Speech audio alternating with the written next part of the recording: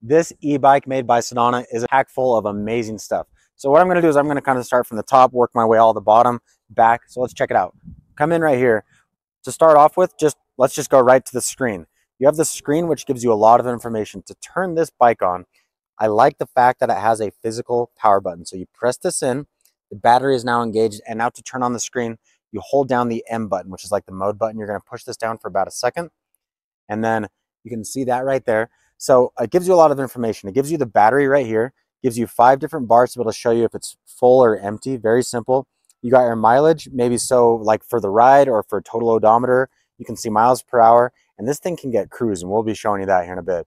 But you also have this PAS. That's like the assist. So how you're going to adjust that is by going up and down on these arrows. What that is, is the amount of assist that it's going to be giving you when you are pedaling or when you're using it as kind of like a motorcycle where you're not even going to pedal and you just use the throttle. How you do that is this guy right here, this red button. Now, if I do this, watch, nothing happens. But if I push the red button in, get ready because I'm not, I'm not on it, but I press it, it just goes right away and has a lot of torque and a lot of power. Now, you can do that with a lot of torque and a lot of power, or you can slow that down. If you want, you press this arrow down. I was at five, so that's the highest it can go, all the way down to one, where it's just gonna engage kind of just like on an economy mode, keep you going.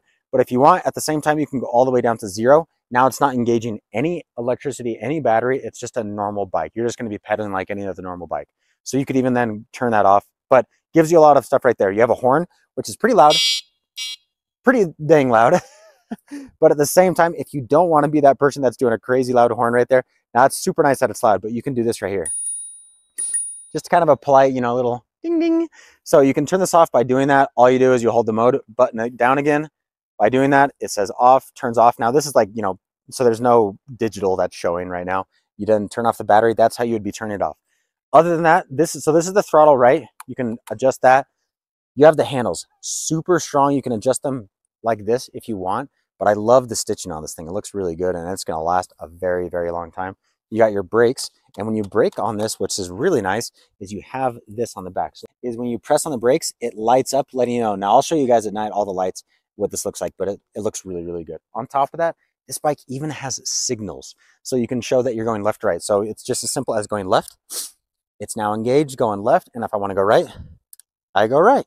And I just can put it back in the middle if I want to turn it off. It's super, super simple. I do love the fact that it is powered by the battery itself and it's not something that I have to charge.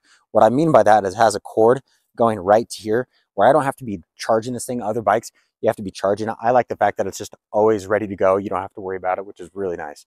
So other than that, that's everything you got going on up here. You also have the light on the front, which I'll be showing you that.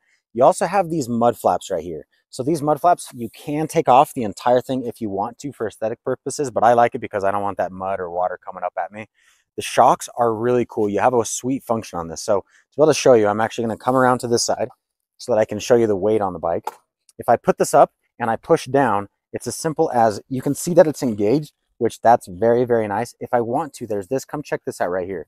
By doing that, I can lock the suspension and now it's not engaging. So say you're like on the road or something like that where you need that maybe a little bit more durable, harder suspension, very easy. But if you want it to be looser, open, you do that. And then you can do fine adjustments of the suspension itself with this right here. So nice that it has that. The brakes, by the way, sweet kickstand, very heavy duty. I love the fact that actually when it's up, it's not in the way of the pedals. There's others that it's like, why did you put that in the way? This one, it's not in the way, which is great. So you got disc brakes on the front and the back, very rugged, gonna last a long time, and you can really feel them. This thing will stop on a dime if you want to. You can adjust the brakes very easily. One thing that you should be aware of is this right here, the like the, the disc that's gonna be pulling in the caliper, that's gonna be, you know, pressing on the brake itself, the, uh, you know, the disc. You can adjust that from angle to angle very easy with these two right here with these Allen wrenches. So if you want to, you can adjust that if it is touching and it's making that noise. So just FYI, you got the motor in the back, very strong motor. You got reflectors, but the thing that I love, these fat tires make it so forgiving. You can be going over bumps and all that. And because you got all this compression that can happen within the tire itself, you got the shocks that you can adjust. It's such a smooth ride, whether you're on asphalt, whether you're on a trail. I love it. Um, you also got, you know, seven speed up here, up and down. You can adjust the seat. And by the way, the seat, so comfortable. They really thought that through. Because I've sat on others and they did not. They did though on this one. I love it. So you can also put about 25 kilograms or maybe 55 pounds here on the back, which is really nice for anything that you might be storing or traveling with. Other than that, they did a phenomenal job on it. They went quality on all the materials. Looks good, feels good, rides really well. I hope you guys like it. I wanted to show you what these lights look like at night. So this is the front headlight. It looks really nice. And then also the rear brake light, the one that has the signals looks amazing at night. Very bright, letting people know that you're there.